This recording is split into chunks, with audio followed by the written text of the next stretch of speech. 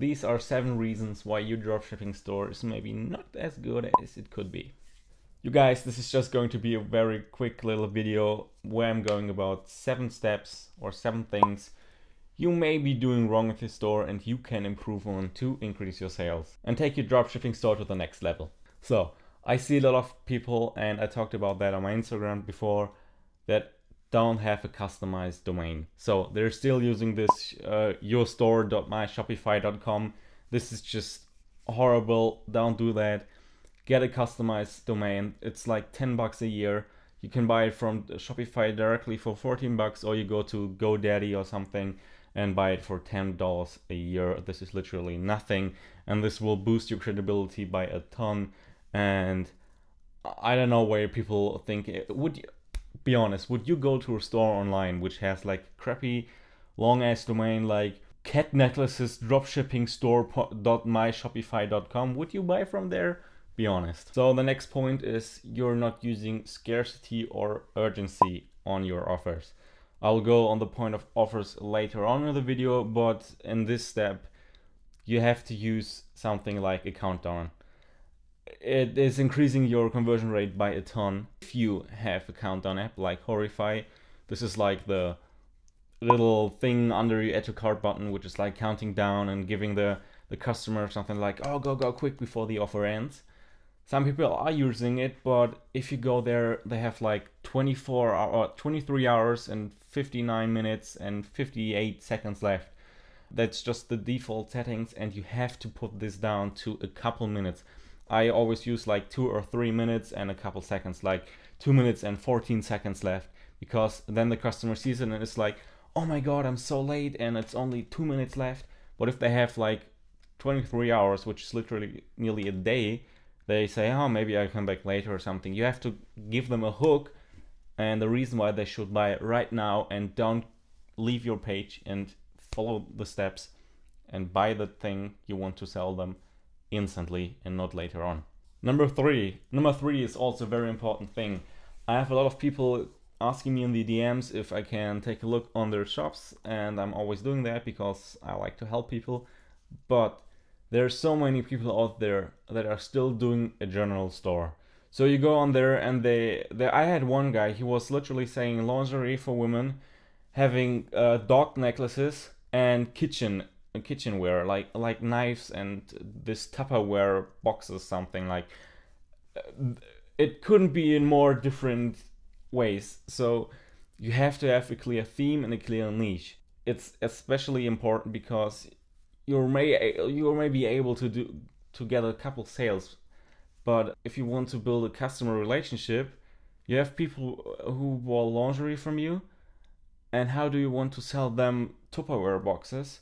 And maybe dog necklaces. There, this is just there's no similarity if you know what I mean. And on the long term, you will not be able to compete with Amazon or eBay or Craigslist or Walmart or Best Buy. All these huge online stores they are out there, and just focus on your little niche and be in this little tiny bubble I talked about earlier in the last video, I think. Yes, and just focus on one customer category this will help you. Focus on one niche and it's easier to market that. Number four, imagine you're in the city and you're going into a store and the store looks horrible. There it's just it's dirty on the floor and the products are dusty and they're all over the place and there there's no theme in it and it's just uncategorized and you, you, you look at it and it looks like a pile of garbage.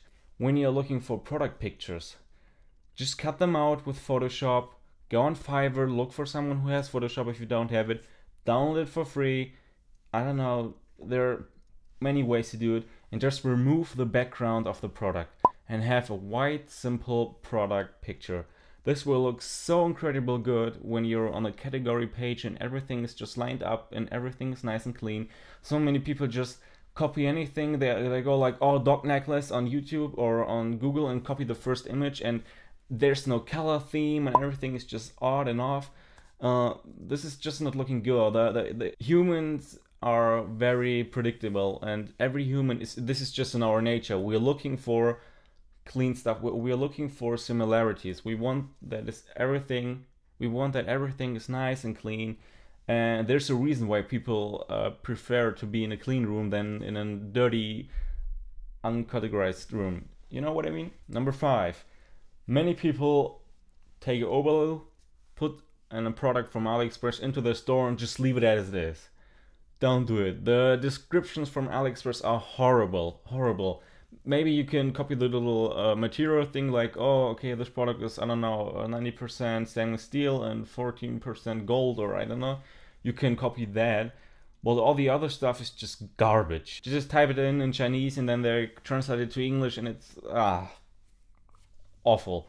Just write your own product description for every single product individually and make it something emotional. You know, people are buying out of from emotion. So if you are selling mom t-shirts, for example, I don't know, some t-shirt with like proud mom or something, this is always going good. This it's something emotional. So you put like, "Are you a proud mom?" Question mark. Uh, yeah, with this T-shirt, you can show everyone that you're a, prou- a proud mom and have great kids, or I don't know, some garbage like that. But this is way better than every single sentence you will find in an AliExpress product description. Make everything nice, clean, personal. Number six. This is key. I should have said that as number one. You have to have a strategy. Arnold Schwarzenegger said once that you have you can be the the best pilot in the world, but if you're if you don't know uh, where you have to go, you will just fly around in circles. So you have to have a strategy like zero sales right now. I want to be at $10,000 in two months, or I don't know, set yourself a goal, and then you're like, okay, I do this, this, this, and this, and this to execute and to achieve this goal. And then you work on a plan. The basic strategy is start with Instagram influencers, collect data for the Facebook pixel, and then scale your store to the next level with Facebook ads. This is just the general strategy most of dropshippers are using. You should have a plan. You should do, okay, today I'm, I'm gonna finish the store, tomorrow I will make all the ads uh, the, day after that, I will post uh, three shoutouts on three different pages, and you just have to have a clear strategy and a clear way to go, and don't. Oh, uh, today I feel like I I want to make a shoutout, and, and tomorrow I will add some product description. No, you have to have a step-by-step -step strategy and have everything nice and lined up. And the last thing I want to talk about, you're doing dropshipping. So you are starting right now. This is why I'm assuming you're watching the video or just in the beginning phase. So you didn't brand your store yet. So people don't know your store. People maybe go on Amazon and then they will buy a Kindle and they plan that. But dropshipping stores, you will land on them because someone uh, saw ad on Facebook or Instagram.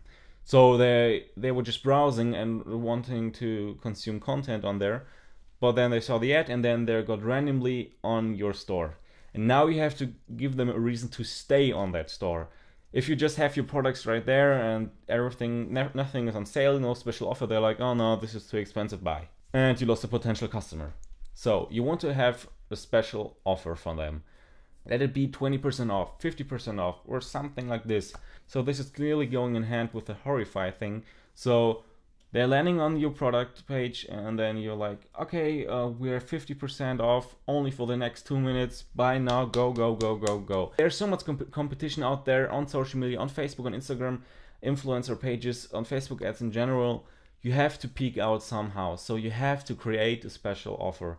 You can go around on other dropshipping stores or on big companies and look what they're doing to create something special and unique for their customers. Okay guys, this was the video for today. If you got any value, please drop a like and subscribe. Also follow me on Instagram and the most important thing, if you have any questions, drop them down in the comments. I will answer everything. I see you guys tomorrow and bye.